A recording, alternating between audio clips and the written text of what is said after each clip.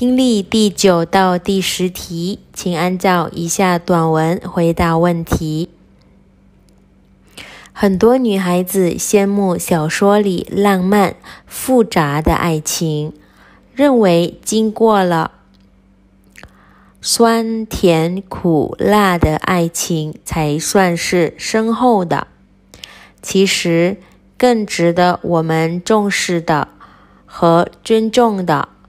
正是实际生活中简单的爱情，有时候简单就是最大的幸福。第九，女孩子为什么喜欢小说里的爱情？第十，说话人认为什么样的爱情才是幸福的？好，听力考试现在结束。